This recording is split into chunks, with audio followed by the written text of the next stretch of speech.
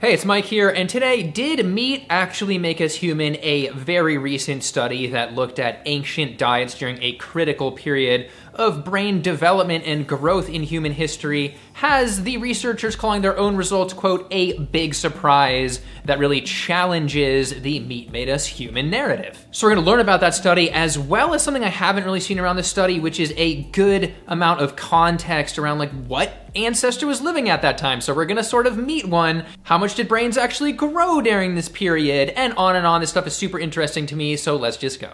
And by let's go, I mean there's a quick update. It looks like I'm going to be doing a vegan trip to Iceland on July 22nd, which is awesomely right after the UK vegan campout that I'm going to. We should have spots available for reservation in the next week or so, but you can click the link below to stay in the loop on that if you want to. Anyway, let's get into it. I don't need to spend a bunch of time on the meat made us human hypothesis, but it's really just the notion that our brains grew a lot to the point where we became what we are now, human. And so we need an explanation for that. And there are really only two majorly accepted explanations for that. One, that it was eating more meat, and two, aliens. I'm kidding, I'm not gonna talk about aliens. And really, there are a lot of theories and a bunch of contributing factors. I just wanted to say too to make that joke. And this has been in the popular media, even on YouTube. I responded to Seeker's video where they several times said meat made us human as if it was a fact. Without it, we would not be the majestic and gangly humans that we currently are. And I responded to that, I'll link it below. But from this article, the lead author, Andrew Barr of George Washington University says, quote, generations of paleoanthropologists have gone to famously well-preserved sites in places like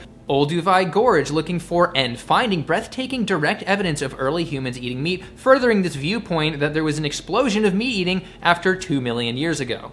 And I would add that it's really difficult to figure out like the percentage of animal versus plants that were eaten from bones alone because bones survive and plant matter generally doesn't. I mean, a bone versus a kale stem, the bone is gonna last. And so you can just be eating one boar as a tribe once a year. That would be 230 bones. You do that for 100 years at a site, you're talking about 20,000 bones. Eat plants all day, every day, zero kale stems left. But according to the meat made us human hypothesis, you would have to see an increase in meat eating in order to have that increase in brain size. And so you have to look at bones over time at these different sites, and that's exactly what the study did. So let's get to it. It is this one hot off the press in the proceedings of the National Academy of Sciences. They basically opened by saying the use of animal bones to support the meat made us human hypothesis hasn't really been scrutinized in detail on a larger scale. And they set off doing this. I don't think they did it to prove anything either way, as we'll get to. But they went ahead and they looked at a bunch of archaeological sites across Africa and looked at was there actually an increase in these animal bones?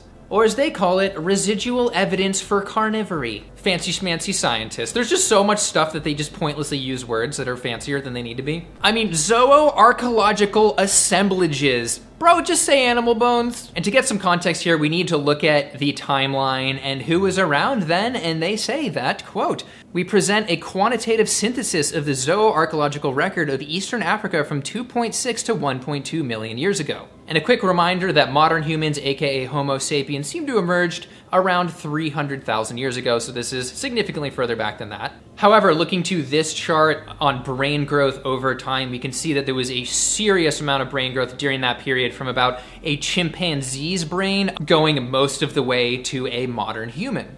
And Homo erectus is one of the species they're talking about during this time period, and they're really interesting. I want to focus a little bit on them because they really were early prehistoric humans. Obviously, not modern humans, they were different, but they walked upright very efficiently and they reached like six feet tall, so they're not like little hunched over apey guys running around. You know, you can see from this illustration that they're quite human looking. Of course, it is an illustration. And it is worth mentioning that they do span beyond that time period of over a million years ago. However, if we're looking to a Homo erectus, from say 1.4 million years ago, we can look to the Turkana boy here, you know, he looks very human. I feel like if you just put him in modern clothes and saw him on the street, you'd be like, he looks a little bit different, but obviously he's still a human. And the artistic depiction of him, honestly, is incredible. However, some other artists have sort of failed to depict Homo erectus accurately, such as this one, which is basically just Clint Eastwood after losing a fight. We all have it coming. Turkana kid. And while it's a bit of a tangent, no, it is very unlikely that Homo erectus' skin was Clint Eastwood white, that white. I mean, yeah, they were mostly probably dark skinned, except for a little bit later as they moved into like Eastern Asia, but no. And in terms of brain size, looking to the charts, you can start to see a pretty good overlap between the upper end of Homo erectus and the lower end of us, Homo sapiens. Part of that could be because they were pretty tall, up at potentially six feet tall in some cases, but brain to body ratio, which is really important. Even some samples past 1.2 million years ago could have fit within that range of modern humans' brain to body size. I could talk about Homo erectus forever, but the point here is that this is in fact a time period. We went from basically like chimpanzee brains to where we became human, more or less. Obviously, we went further than that, but this is key in terms of time. All right, now to those darned results. Don't need to hold you back any longer. Back to this article, the lead author says that after all the data was analyzed, yes, that meat made us human narrative starts to unravel. Echoed directly from the study with quote, our study demonstrates that the temporal or time pattern in the amount of evidence of hominin carnivory from 2.6 to 1.2 million years ago is essentially flat with no sustained increase through time. And here is one of those charts showing that essentially flat-lined evidence of carnivory through the record there. It should be going up, sort of like a slope with our brain size, as you can see from those charts. Nope, doesn't. And another important part about doing science is where you get your sample from and how your sample is collected, and that can get us into sampling bias. A simple and perfect example of this is let's say I'm trying to be rated on a scale of 1 to 10 in terms of hotness. If I say go to a gay bar, they're going to be like, you're an 8. But if I ask anybody else, like a bunch of women, they're going to be like, oh, six and a half. And that's important here because the study took into account something that hadn't been done here before, and that was sampling effort, their way of looking at sampling bias in this context. In this case, there seem to be multiple forces driving scientists to take way more samples at the newer sites. First of which is that they are more well preserved. They can get those nice samples that look great with little cut marks and stuff on them. And another might just come down to straight up bias about the actual meat made us human theory. They might go, oh, this is the time period that we needed to eat a lot of meat to sustain our brains. Let's dig twice as much area in this site than we did in the older site, and boom, you end up with twice as many bones. As the lead author Barr says, after Homo erectus, there's been a lot of intensive research activity on finding these smoking guns of human carnivory, whereas prior, there's less research effort. Our study shows that it is influencing how much evidence is available. And as Science Daily put it, this skews the evidence in favor of the meat made us human hypothesis. So they then determine how many more bones are found when you are looking more. They then corrected for that, and the result, quote, our synthesis of the Eastern African zooarchaeological record makes clear that sampling effort constrains the zooarchaeological visibility of hominin carnivory. If you go looking for bones, you're to find some more bones. Anyway, beyond sampling bias, could there perhaps have been some anti meat bias? We always have to ask these questions. And it does not appear that there was some secret sleeper cell of vegans that became archaeologists and then made this study. No, it's from a wide variety of researchers from around the world. And one quote in particular sort of shows that they weren't probably trying to do this from co-author Brianna Pobiner of the Smithsonian quote I've excavated and studied cut marked fossils for over 20 years and our findings were still a big surprise to me. Of course, this study is massively sensational and groundbreaking on meat's smaller role in brain evolution, so it received a whopping reception of zero shares on I effing love science a few days ago when I looked at it. People love to have more reasons to eat high fat animal foods, so of course they've supported positive pieces toward this notion in the past, this one not so much. But let's look to the dietary implications. So, should people keep using the meat brain excuse as a reason to shove down animal products three plus times a day? Well, to Barr, again, the lead researcher, quote, I would think this study and its findings would be of interest not just to the paleoanthropology community, but to all the people currently basing their dietary decisions around some version of this meat eating narrative, our study undermines the idea that eating large quantities of meat drove evolutionary changes in our early ancestors. So if you've watched my channel before, you might have a big alarm going off in your head. I'm sure it's happening in the comments that this is all an appeal to nature that trying to do what happened in nature isn't automatically right. Simple example if eating our own poop was a big part of making us human, should you keep eating your own poop? Also, smearing it on your face, that was a huge part. So, from an ethical perspective or a health perspective, eating what is best is not necessarily what we did eat. And it is worth mentioning that higher meat consumption is associated with a lot of diseases that I talk about literally all the time on my channel. I mean, red meat, which would have been a huge portion of the meat that would have been available to our ancestors, apparently class 2A carcinogen, so Either way, I still find it interesting to see what forces drove our evolution, and of course, what excuses people try to use and why they shouldn't use them. But this brings me to perhaps what did usher in that brain growth, and you already know because I'm obsessed with it, and it is cooked starch.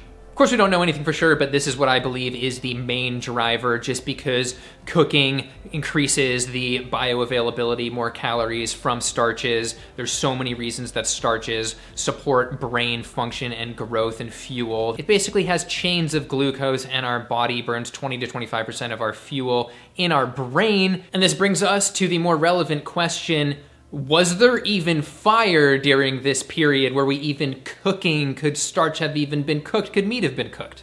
The study says, quote, the novel characteristics of Homo erectus may instead be related to other factors besides carnivory. Some researchers have suggested that the provisioning of plant foods by grandmothers or the development of novel food methods of food preparation using fire may have contributed to the evolution of the modern human like features of Homo erectus. But then they caution. And there's just a lot of debate about when fire started being fully controlled and utilized. And we have researchers like Richard Wrangham, who says it was nearly 2 million years ago that we started controlling fire. That is why all of this happened.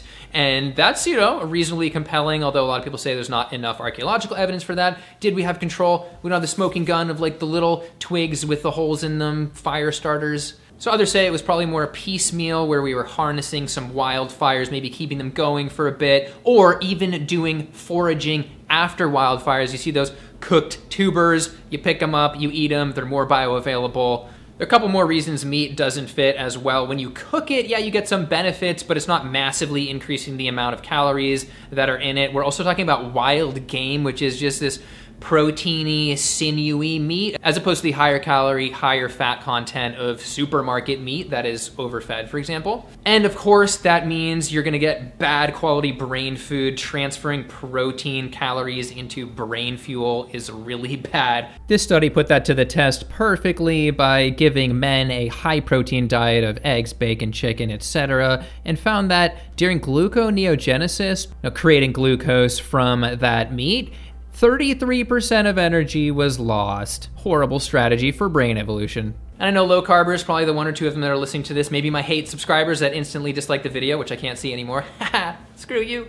Uh, they're gonna be screaming ketosis. It was the natural state. I've gone through that a ton of times. But just in terms of how all human populations around the world, even the Inuit, do not go into ketosis, and then our primate ancestors not going into ketosis. That is just such a ridiculous theory. Animal fat did not fuel our brain enough to grow it. It chooses to burn glucose over fat for a reason. Also, if meat makes you so smart, why aren't lions the smartest animal in the world? I know that's a limited argument, but I had to throw it out there. It's a supporting point. The starch hypothesis is also supported by Karen Hardy and her team. They have couple good papers on it. Quote, we provide evidence that cooked starch, a source of preformed glucose, greatly increased energy availability to human tissues with high glucose demands such as the brain, red blood cells, and the developing fetus. And we also have this pretty recent 2021 study that I mentioned talking about the genome sequencing of bacteria that is associated with starch in the dental biofilm. That goes back at least 600,000 years ago, so that's a hint that it went back even further. Anyway, I have more videos on starch